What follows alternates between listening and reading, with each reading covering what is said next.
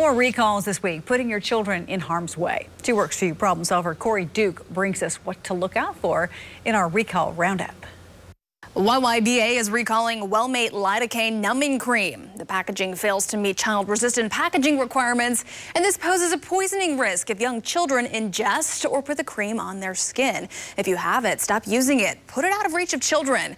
YYBA is directly notifying known customers who purchased the cream on eBay, Walmart, and WellspringMed.com. Amazon will contact its known purchasers about the recall. And another product recalled for failing to meet child-resistant packaging. UST is recalling bottles of Life Seasons Blood Nourish-R. If you have this product, store it out of reach of children and contact Life Seasons for instructions on how to return for a full refund.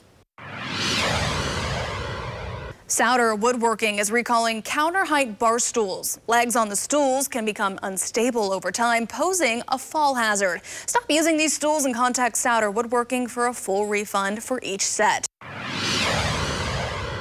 And just in time for swim season, some pool heaters are being recalled due to a fire risk. Stop using the recalled pool heaters and contact Pentair Water Pool and Spa for a free repair.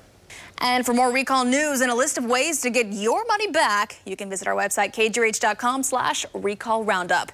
There you'll find these items and links to the retailers. Corey Duke, Two Works for you.